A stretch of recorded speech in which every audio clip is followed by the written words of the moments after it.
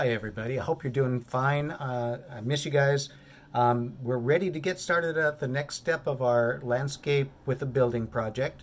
Um, you should have already finished uh, practice number one, which was the one point perspective boxes, practice number two, which was the two point perspective boxes. You need to have finished those before you go on to this one. This is uh, practice number three, aerial perspective. So we're switching over from linear perspective to aerial perspective. Before you start this project, make sure you read the assignment on Canvas. Um, the assignment on Canvas, um, the front, the, the page that the assignment is, tells you step by step what to do, and it takes you through these videos too. Make sure you read that first, and one of the first things it tells you to do is to read your notes, at which I've attached to that assignment on Canvas. All right? Make sure you read your notes because a lot of the words I'm going to use won't make any sense to you if you don't remind yourself or don't uh, learn those words uh, already. All right, so you need to, to do that first. Um, on this piece of paper, um, we're going to be drawing. Now, you can use your uh, printer paper again if you uh, don't have any drawing paper. Um, but if you got drawing paper from me, or if you have your own drawing paper, um, using this bigger size is a little easier to do this work. This is 9 inches this way by 12 inches this way. 9 by 12 makes it a little easier to draw everything that I'm wanting you to draw. You can still make it work on the printer paper, which is 8.5 by 11, a little smaller, but you can still make it work. All right? Your first step is um, you're going to put in, uh, as the directions on uh, uh, Canvas tell you, you're going to put a horizon line onto your picture plane.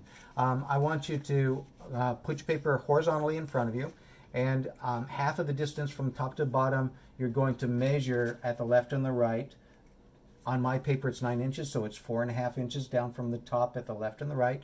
Draw on your horizon line, and then I want you to plot two vanishing points. We're doing two-point perspective to draw a little house on the horizon line. So part of it's going to be above, part of it's going to be below for being on eye level. All right?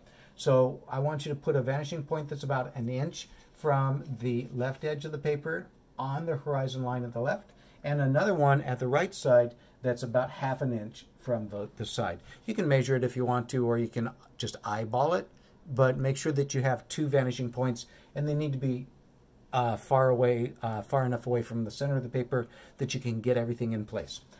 Our next step is we're going to um, be putting in some streets and a sidewalk and a building into that perspective.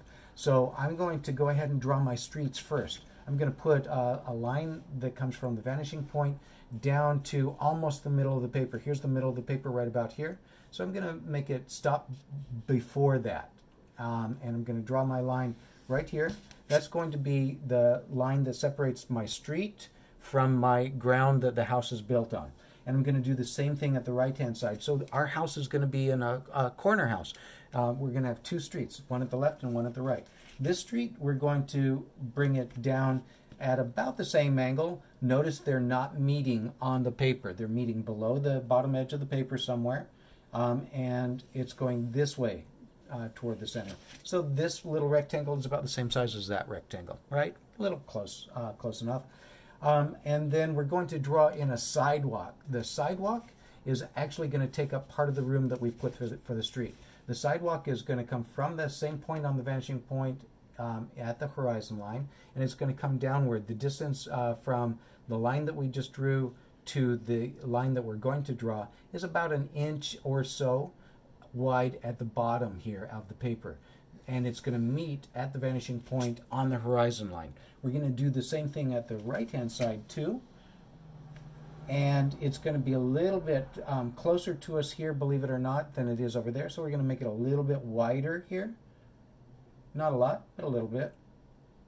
It needs to look wide enough that a person could be standing there and looking at our house, okay?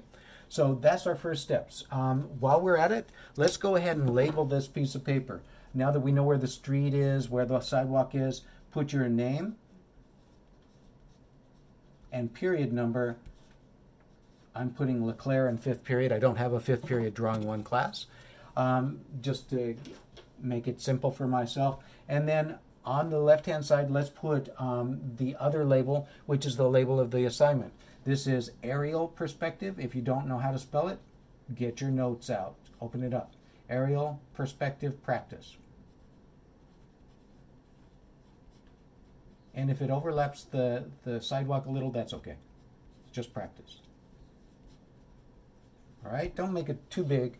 Um, I do need it to be big enough that I can see it. If you don't remember to do that, I can't give you the points because I won't know whose it is when I start grading them after I uh, take them from Canvas, uh, from your email to Canvas. All right. So now, um, now that you know what to do, go ahead and do the work, and then when you're done doing this much, come back and we'll go to uh, video number two.